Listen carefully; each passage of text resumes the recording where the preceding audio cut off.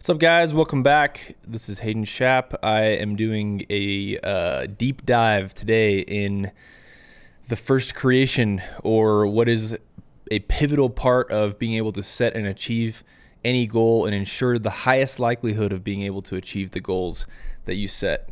So, this is a principle from the Seven Habits of Highly Effective People. And I've been doing a study of that, um, all of the concepts there, kind of just going through the book. It's like a hybrid of reading the audio book, but the parts that stand out to me and then commenting on what I'm learning and what I have learned in the past. Um, this has been a really insightful study for me. So if you like this and it's valuable to you, then share it with three or four people that might be able to use it. And uh, definitely um, subscribe to the channels for to my YouTube channel so that you can get more of this stuff, as well as um, follow any of the other mediums for audio. Um, I'm basically just doing this study for me, or at least I started doing it just for me, because it's the way that I've found to most deeply ingrain these principles within myself. I've been studying the seven habits of highly effective people and the concepts for not only personal development, but leadership, uh, character based leadership development as well for the last seven or eight years. Explicitly out of seven habits for the last seven or eight years, but a lot of these concepts even taught to me by um, mentors and my father since I was a kid. And um, it's just been really impactful this time around. I was reading Covey's words at the beginning of Seven Habits as I started studying again. And uh, they said, he says, the best way to ingrain these principles is to study with the intent to teach. And so my version of that has been just to make my study public and see if anyone follows along, but more importantly, for myself, become a better version of me through the study. So hopefully you're getting something out of it. Um, if you're following along with your own insights, that's where it's going to be most impactful. If not, I think it's just fun to listen to. And definitely there are life changing, impactful concepts here that will put you on a course to not only achieve whatever you want in abundance, but not lose your soul in the process, become the best version of yourself in all the aspects that you care about most. And definitely the ones that you will care about most at the end of your life based on the contribution and the legacy that you leave behind. So I directly work with salesmen and saleswomen, salespeople, um, and I love sales and business. I'm fascinated with the concepts of uh, persuasion and influence from a truth-centered perspective, meaning like what's actually best for both parties, making things a win-win and persuading people out of goodness rather than just manipulating them. I'm also fascinated with personal and character development and doing that in a principle and truth-centered way. And I'm very, very interested in learning and teaching leadership um, from a truth centered lens. So that's what I talk about. If you like that, make sure you um, share and you know enjoy the content. So I'm gonna get back into the seven habits here because this is for me where this is getting really like it's there's a lot of work that goes into making this meaningful and doing the deep work of your mission statement and what's your guiding north star. Habit one is all about becoming the type of person who is capable of creating your life consciously, what you actually want, and using the unique human endowments to do that. Things that nobody, no other species has on this earth. Um, if we don't use them, we're basically just like those other animals. So that's being self-aware, having a uh, an imagination to dream up something in the future and take responsibility for it, um, and go create it, and then conscience, being able to guide our decisions based off of a moral compass of right and wrong. And th- th- that's what Covey claims is the unique human endowments. And he's pulling from a lot of different people there Jung, um, Viktor Frankl, and others. So, what I find fascinating about that concept is that we're always the creator of our own life. But where that's bad is if we're creating our life on autopilot, if we're not even consciously thinking um, what scripts we are playing out in the real world that have been either handed to us or that we've developed based on habits or that were a byproduct of the things that have happened to us in our lives or just people, right? I might be the product of somebody else's first creation for me. Everything is created twice, but that doesn't mean that I'm the one that's creating uh, that I'm that every creation for second creation is by conscious design, meaning like Covey claims that the first creation is a true principle whether you're aware of it or not. This isn't something that just you disregard. You break yourself against this principle. Um, so I uh, I was having a, a, funny this idea of breaking yourself against truth is kind of interesting because I was having a uh, kind of a witty uh, banter back and forth like conversation with a friend where we were talking about how much REM sleep we were getting because we're like tracking like everything really meticulously. REM sleep like exertion during workouts like your the your your battery during the day um, stress levels all this stuff I mean, I just got like 13 vials of blood work done for like 48, um, a 48 marker blood panel, which is like, when do you ever need that except for to meticulously know just how your body's functioning and optimize your body and your mind. Um, so we were we were joking about some of this stuff, and I was like, dude, he was getting so much more REM sleep than me. This is so this is so dumb. He was getting so much more REM sleep, and I'm like, bro, I'm gonna definitely beat you in getting REM sleep tomorrow tonight. And uh, he's like, listen, Hayden, REM sleep is not something that you win at, okay? It's something that you break yourself against or you harness for your good. Because we've been joking about this idea of breaking yourself against laws and principles um, or harnessing them to like achieve what we want. And I was like, gosh dang it, dude. Yeah, how are you supposed to be competitive in REM sleep if that's just a, it's a natural cycle type of thing? And so you either do it the right way or you break yourself against it. And uh, so last night I got much more REM sleep than I normally do. because I was um, I'm focused on trying to make make that happen, and using some biomarker tools to help as well. Anyway, the first creation is one of these concepts as well. We can't ignore it. We just either harness it for our good or we break ourselves against it. Meaning, I'm always acting out the second creation of something that was first created, either by conscious design of myself, or by others, or by circumstances, or by uh, what does Covey say? Conditions, conditioning, or other people, essentially. Or I choose it myself, right? And so that's the idea is to become conscious that we are the creator. And so therefore we got to own the past so we can create the future because you can't have one without the other.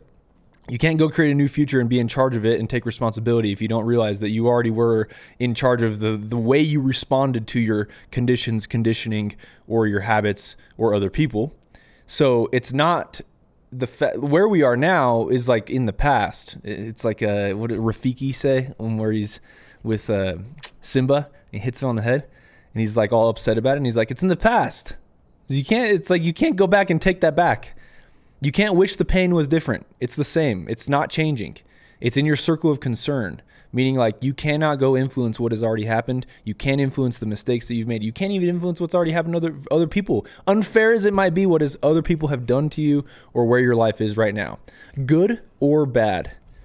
So if that's true though, we have to acknowledge that like where I am is a result of not only my conditions, conditioning, and other people, and maybe some of my own conscious design. Where I am is a result of the choices that I have made between the stimulus of my conditions, conditions, or other people, and the response that I had to it. I had a choice there. I was either operating in that choice on autopilot, unconscious of my ability to choose, or and blaming other people, relinquishing my power to choose to the conditions, conditioning, or circumstances, um, or other people, or I'm choosing to respond. And the idea is to become fully empowered as a proactive human being to embody proactivity by choosing that space that lies in between stimulus and response, choosing how we behave there because we have that choice. And sure, I wish things might be would have been different. We all do, right? It's like uh, if you talk to a lot of people that have a lot of Bitcoin. I have a good friend. Well, he's I wouldn't. I actually am not allowed to call him a good friend because I don't. I haven't known him for super long. But I have a buddy of mine, a friend that I talk to frequently, who has made upwards of six hundred million dollars in cryptocurrency in in in Bitcoin and like in the crypto game, right? So the crypto asset game, cryptographic assets, he's made six hundred million dollars plus. Um, and it's been interesting to like get to know him and kind of bounce ideas off him because I've been in the crypto game since like 2016, late 2016, early 2017. And the more that I talk to him, the more that I realize that um, freak where was I going with this? I just lost my train of thought uh, it's like in the in, in the Bitcoin game, whenever you are uh, like people that have a lot of Bitcoin, they always wish that they had more. That's where I was going with it. I lost my train of thought. Um, so that's kind of how this is. It's like we always, even if we're like living a good life, you kind of always wish you could go back and change things a little bit from what you learn in the in the in the short term or in the current now. Uh, hindsight's twenty twenty in the sense that you always look back and think, man, I could have made, I could have been a little bit better. I could have ch- uh, made a little bit different choices, right? Um, and that's kind of how it's funny because like the guys that have a lot of Bitcoin or a little bit of Bitcoin, they're always saying that same thing. Yeah, I mean, I might be relative have relatively more than most people, but I always wish I had more. It's how I feel. Uh, that's definitely how Ricardo feels, and my I probably I don't know if I should say his name. Nobody will be able to find him. I can't find him on social media anywhere, um, but he does exist, and uh, that's kind of that's how he feels. And he's made six hundred plus million dollars, probably actually more. And that's how I feel. I've made more than most in that, and then that's how anyone feels it's at the beginning. So it's like it's not a unique thing to say like I wish I could have changed the past. I wish I had more. I wish I would have done things differently.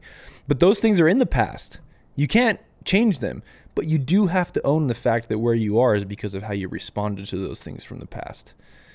That space in between the stimulus, what happened to you, and the res- your response to it, that space where you had the power to either relinquish your ability to choose to other people or choose yourself, you have to own that because you pick up one end of the stick there, you pick up this other end of the stick, which is okay. Now I can actually own my future too. Covey says when we get into that's habit one, be proactive. When we get into habit two, habit two is basically saying, now that I know I have taken, I can take responsibility for my future because, and I have taken responsibility for the fast. Now that I know I am the creator. I'm always the creator. I always was, whether on autopilot or by conscious design. But now that I realize I am the creator, now how do I lead myself to create what is best for my life? Identify those things, my vision and my values. Use my unique human endowment of self awareness, which is what we use a lot in Habit One, of imagination, being able to conjure up a world that doesn't currently exist, and uh, and um, your moral compass, your conscience. Covey says your conscience isn't just being able to say, "Oh, I'm choosing between right and wrong." Your conscience is is this ability to identify your unique traits that make you uniquely you and your mission and who you are beyond just something in the short term, um, beyond just the titles that can be easily taken away from you. Conscience allows you to identify those things, which is kind of a fascinating idea, I think. So conscience isn't just like the, this moral right or wrong type of thing. It's who am I uniquely at my core? What are my unique talents and abilities? And how can I use those to go bless other people? Um, and to create for myself the life that I want, but more importantly, bless other people. So with that, that's actually where we just ended off on this last one. I like kind of doing a a different version of a recap every time, even though that could, you know, if I say, okay, I'm gonna recap last time, it's for me whenever I listen back to it, whenever I've said that, that sounds like boring. I might tune out there. But like as I keep listening to myself, like reiterate and try. I'm, what I'm doing is trying to more even persuasively like talk about how these things all fit together before we move on to the next thing, which is super helpful for me, even though it's taking 12 minutes and 32 seconds. Okay, let's get into where we left off last time as just a recap. I was reading uh, with a buddy of mine some stuff from Habit One, which is kind of fun, uh, or pre Habit One, I guess. Um, so now we're going to get into, as you watch me scroll through here, uh, Habit Two and we were already in habit two. Viktor Frankl, he talks about how like we don't actually choose. So what does he say? We don't uncover our mission; we detect it. Basically, um, this is kind of a unique concept. What is the actual quote? Let me find it real here. Um, so living on a principle center, people can't live with change if there's not a changeless core inside of us. Man, that's really amazing. Um, this quote by Viktor Frankl is the one I'm trying to find, which is right here. Frankl says we detect rather than invent our missions in life. We like, and then he he's gonna go on. So like this was kind of confusing for me when I first read it, and even so today I'm gonna flesh out this idea a little bit. Um, because Viktor Frankl says ultimately man should not ask what the meaning of life is, but rather must recognize that it is he who is asked. In a word, each man is questioned by life, and he can only answer to life by answering for his own life. To life, he can only be he can only respond by being responsible. I love that. So for me, when I first read that, I'm like, okay, Viktor Frankl saying these people who are like, where's my passion? I can't find my passion. I'm just waiting to find my passion. Well, you choose your passion. You go find you you proactively go create your passion. But and that, that's kind of what Viktor Frankl's saying here. But if you read the the paragraph just above this, it's even different than that. So he says it's you don't invent your passion or your mission in life you detect it rather. And that's how where Covey is saying like when we go into this first creation of like what is the life I truly want, the most optimal way to do that is to begin to use our human endowment of conscience to start detecting what our our unique mission is, not inventing it because we don't fabricate that. We do choose it though, and we detect it, um, which is kind of an interesting idea, I think.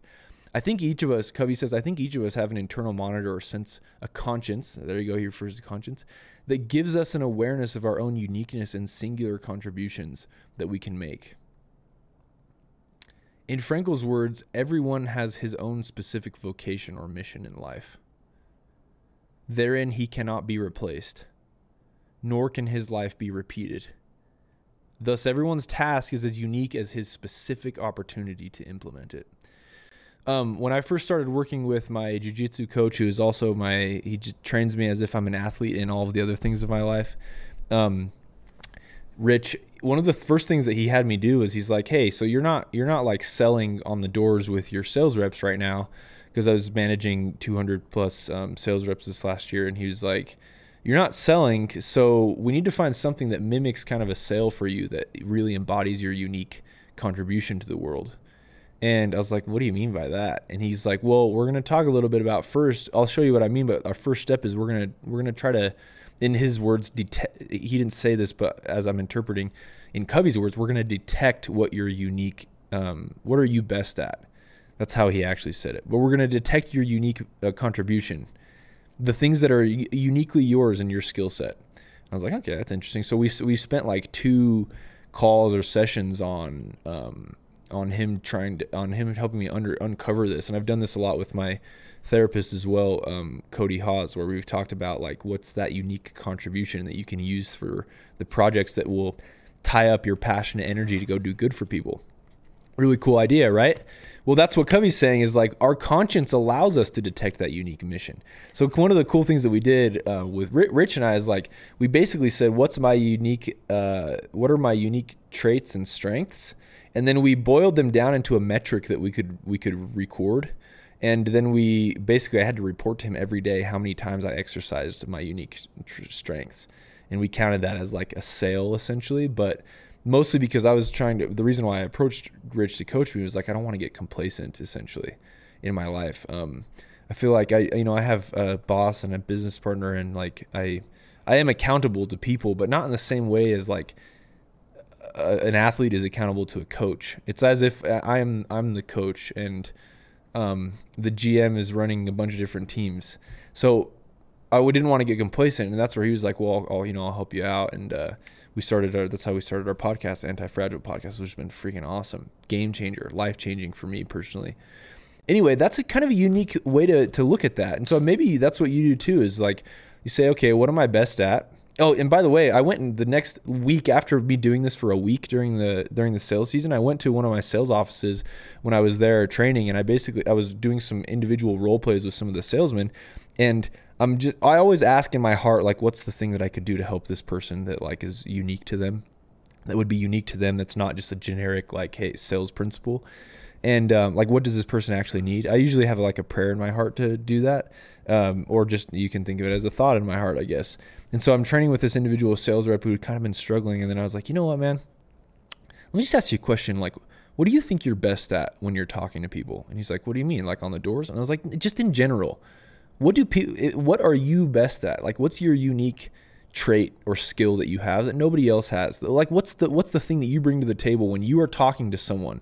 Like in a conversation, in a sale with your friends that nobody else has. And he's like, you know what?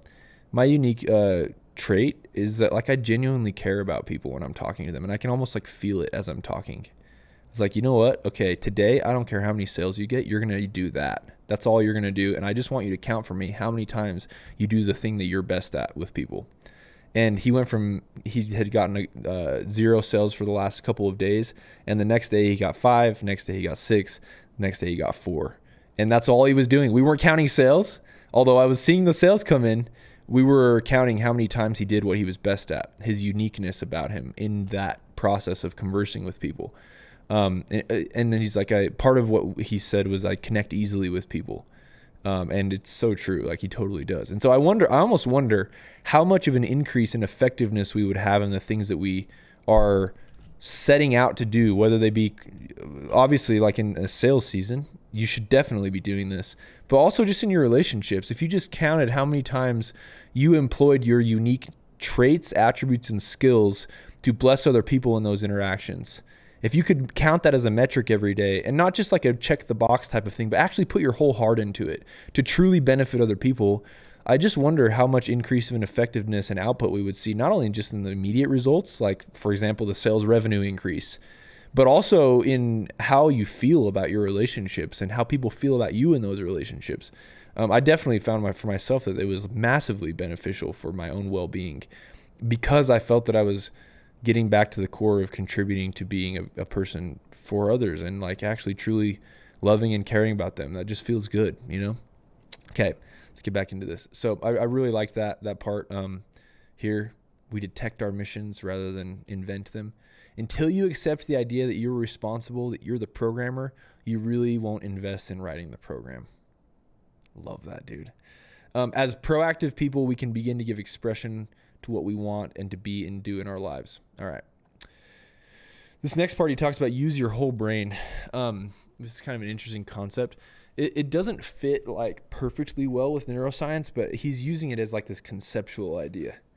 Our self awareness empowers us to examine our own thoughts, which is cool. I talked about that in my float tank uh, episode the other day.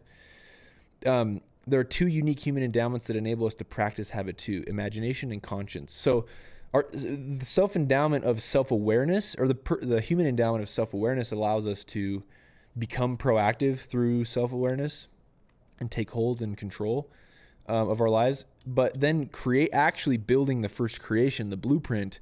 It employs imagination and conscience. So those are the primary functions of what Covey would refer to as the right side of the brain. And again, he's being conceptual about this. This isn't like he's not like neuroscience backing this. Understand how to tap into that part of your brain capacity greatly increases our first creation ability. Um, a great deal of research has been conducted for decades on what has come to be called uh, brain dominance theory. And again, this is uh, the theory itself is somewhat obsolete. However, well, maybe um, in some sense, but all of Covey's principles here are still really sound. And I study neuroscience almost every day. I'm fascinated by it.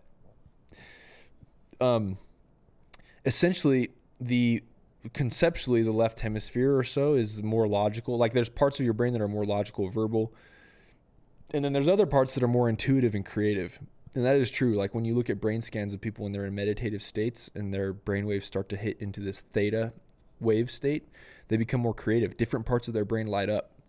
If they're more focused and they're looking for more logical Eh, or more if they're focused more logical for example then other parts of their brain light up that are not the same as the creative hemispheres. Um, some parts of the brain deal with words other parts deal with pictures. So part is literal part is more creative. Um, other with parts and specifics and then the other side or part of the brain with wholes and the relationship between the parts one part of the brain or hemisphere of the brain deals with analysis which means to break apart. The other hemisphere or other parts of your brain will light up when you are putting things together. Um, deals with putting things together. Some uh, one part deals with sequ- sequential thinking, ordered thinking. The other part deals with simultaneous and holistic thinking. So wisdom. It's that's interesting. The uh, one of them is time bound. The other is time free. So that's like when you get into a meditative state, you'll find that um, time passes like that. Your perception of time. But when you're in when you're in a sequential thinking state, that's or a literal state, time will typically be much more much slower because you're thinking in sequence rather than in whole. Really fascinating. I'm actually doing a study right now on the science of making and breaking habits and to implement it some into some of our sales training and uh, into really this is a high performance training program um, or optimal performance training program. And uh, it's been interesting to watch how all of the stuff that Covey says, even though he was using different language for it, um, is still so applicable, even from a neuroscience perspective. Like, absolutely still applicable. Although people use all of these aspects of their brain, typically they're more dominant in one or the other. Um, the ideal is to cultivate your ability to increase in all those things, uh, in your ability to use those different aspects of your brain, literal versus creative, etc. But people tend to stay in the comfort zone of their dominant hemisphere or the dominant portions of their brain and process every situation according to either the one portion or the other. In the words of Abraham Maslow, Maslow, he that is good with a hammer tends to think everything is a nail. I love that. Um, that's awesome. Yeah. Uh, this is another factor that affects the young lady, old lady perception. Basically, this is another thing that that affects the like how we view the world syndrome, and and be, becoming controversial because of how we view the world. And uh, so people who operate or who are better at one or the other, literal versus creative thinking, and haven't developed one side or the other, because both of them can be developed, um, they tend to view the world in different ways. We live in primarily a left, he's going to call this left brain dominant world, so more creative, where words and measurement logic, oh, sorry, no, not creative, it's the other one, it's literal, where words and measurement and logic are enthroned and the more creative, intuitive, sensing, artistic aspect of our nature is often subordinated. I would actually say that it's probably shifting, um, shifting the other way right now. Currently, when he wrote this, maybe it was different. Many of us find it more difficult to tap into that other side of our brain. Right now, I think there's a heavy push in just culture um, for the creative, free flowing part, and that, that tends to be um, developed in people who have practiced that stuff. But like there where that leaves room man, this is where my competitive nature comes out is like where that leaves massive holes gaping holes to be able to go and just dominate in like business and life is like if you can develop the other aspect that other people just aren't focusing on very much. As we become aware of its different cap- capacities we can consciously use our minds to meet aspe- uh, meet specific needs in more effective ways and then he next time what we're going to talk about is the way to tap into the the part of our brain that will allow us to actually sense that unique human endowment, which is really fascinating. I'm going to bring in. I'm actually going to study this next section before I do my next uh, next podcast, next video, because I'm going to bring in some of the neuroscience that I'm studying that I did not do the studies for. It's just stuff I'm reading from highly acclaimed experts, and see if we can actually match this idea of how do you, you detect your unique human endowment, use conscience and imagination to build the first creation for your life in a way that is most optimal and will achieve the highest results and the highest satisfaction and, and wellness and meaning in your life? How do we do that and then tie in some like science to make make it um, so that we understand like what's actually going on there? I think it's gonna be really fascinating. If you guys like the study today, make sure that you uh, subscribe to my YouTube channel and where I talk about all things related to the things I'm fascinated about is like how to persuade people from an ethical standpoint, truth centered, truth centered character development, and then truth centered leadership. Make sure you follow me on all the other audio platforms, and I'll see you guys in the next one. Thanks.